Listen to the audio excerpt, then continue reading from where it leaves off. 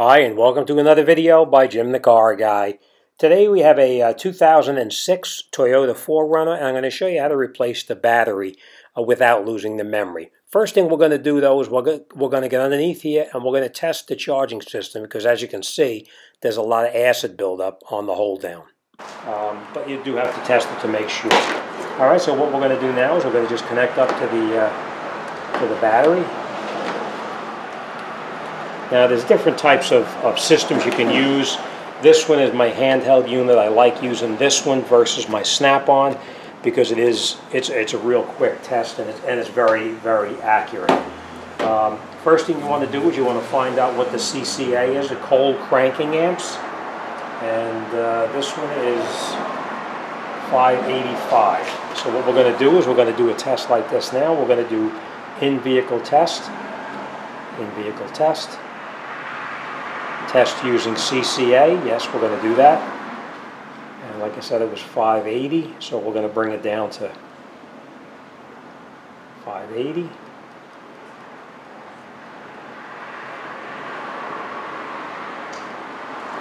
And then we're going to test it.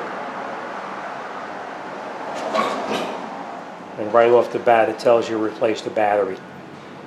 12.37 volts, 260 CCA, it tells you right away replace the battery. But we are going to do a, an alternator test just to confirm that the alternator is okay. So now we're going to start the vehicle up. And I'm going to leave this here so uh, I don't know if you can see that, but we'll see.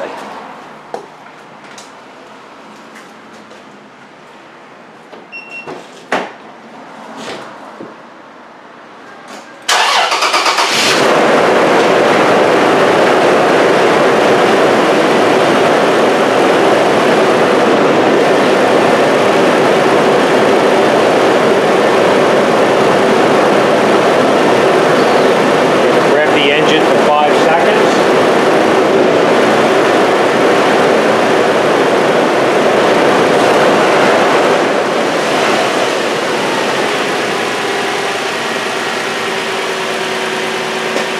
Enter to continue.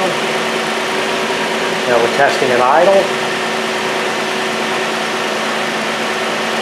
Testing the diode ripple. Now we have to turn the loads on, which would be the headlights or the wipers.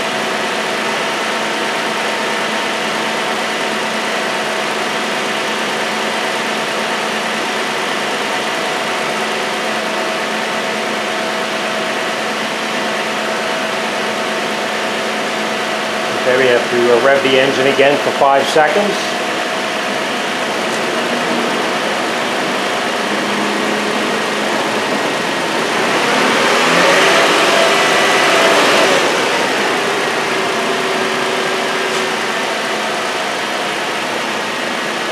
And now we'll see what it says. Analyzing data. Charging system is normal. 14.06, 14.03, and the diode ripple is normal, the charging system is normal. Let me shut the car off. Okay, so here you can see that everything is normal. Okay, it's in the normal range. So we know that everything is okay. The alternator is charging properly. All right. All right, so now I'm going to show you how to go about replacing the battery.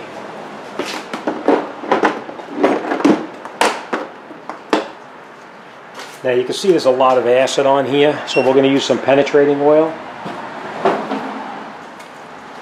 Just to try to get through this a little bit. We're probably not even going to take this one off. Because looking at the condition of that, it doesn't look like it's going to come off, and if it does come off, it's definitely not going back on. Okay, so the first thing we're going to do before we do anything is we're going to disconnect. Let's get some height up here so you can see what's going on. Okay, so like I said, we're not going to disconnect this because that's too badly corroded. We're going to loosen this one up instead.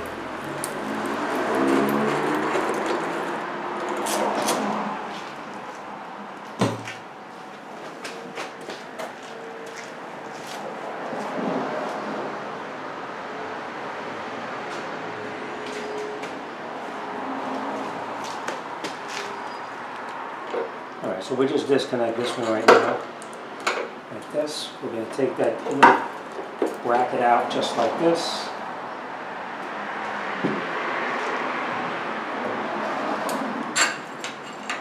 And now what we're going to do is we're just going to take this out just like this. We are going to take this over to the bench and we're going to clean this up. We're going to neutralize that acid.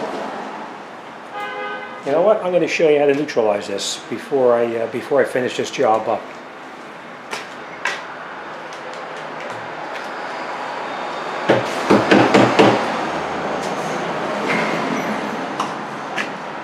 Okay, now, before we go any further and we do anything else with this battery, we're going to go inside the vehicle.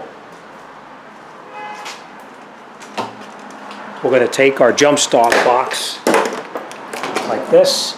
We're going to connect it in the vehicle. We're going to take this end and plug it into here. And then this end, we're going to plug it into the cigarette lighter or the accessory port.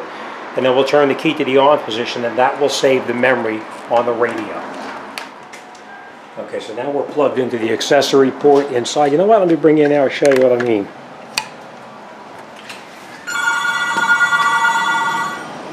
All right, we got our battery box plugged in here, and we have our, our jumper in here, so that way it actually is, um, it's um, still backfeeding power into it, and we turned our key to the on position. Okay, so, so with, like I said, it'll, it'll save the memory. So we're going to go back outside now. We have it all connected up just the way it's supposed to, in here and here, and now we'll continue under the hood and we'll get that done.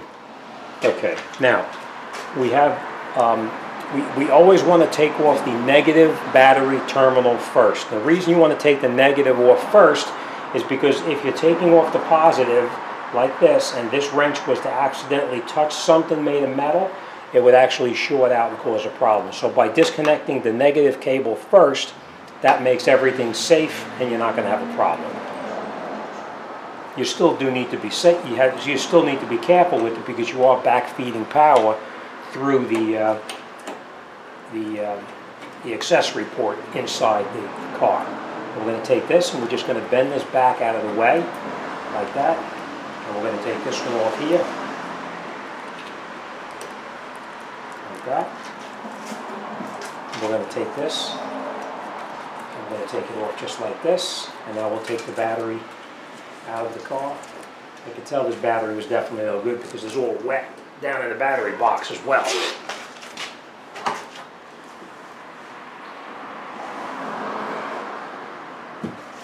Okay. And now we'll put our replacement battery back in.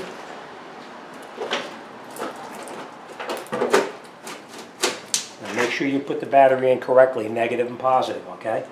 Negative, as you know, is the minus mark. Positive is the, uh, is the positive mark.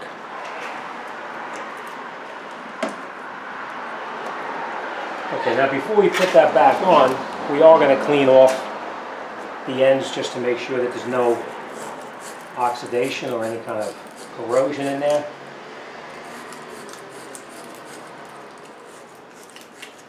All right, that we don't have to clean, but it's, it is clean because it's brand new, of course.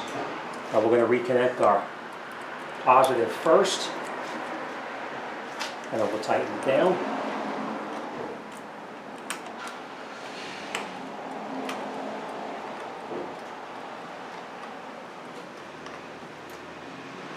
and we'll reconnect on negative.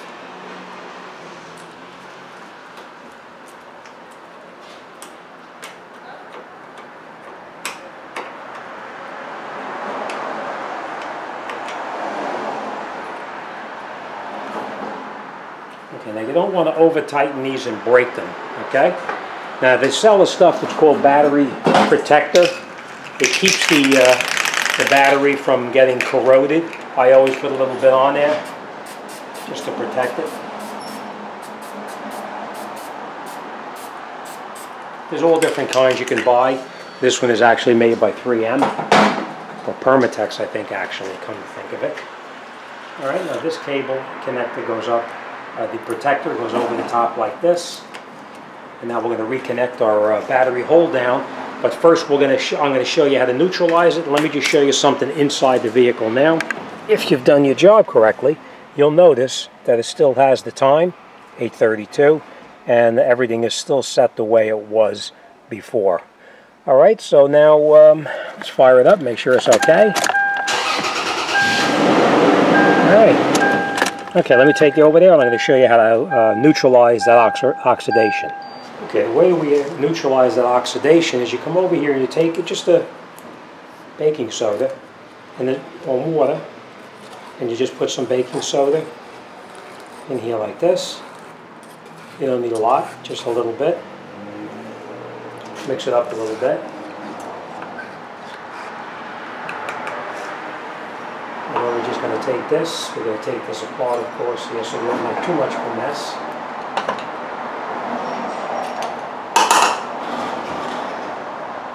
And we just stick this in here like that. I don't know if you can see that, but you see how that thing is bubbling like mad? It's actually neutralizing all of that um, oxidation that's on there.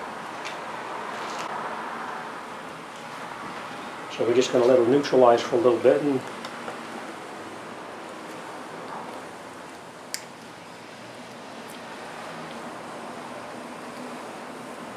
It takes a lot of the oxidation right off of it. And it neutralizes everything that's on there so that the acid won't go any further. Okay. And now this one here, we're just going to let this sit for a little bit. And uh, we're going to let that sit in there, and we're going to turn it over. We're going to do this side over here, and then we're going to rinse it off under the water, and we'll come right back. Okay, so we're not going to get everything off. We're going to get the good majority of it off. All right, so we're going to take this over to the uh, to the sink now, and we'll just clean it off with some regular water.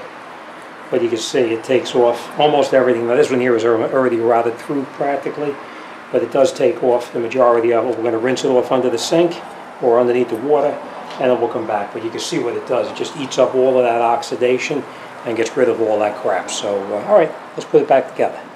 Okay, we just put our hold down back in here. We're going to hook the front one on like that. And we'll connect that back one up.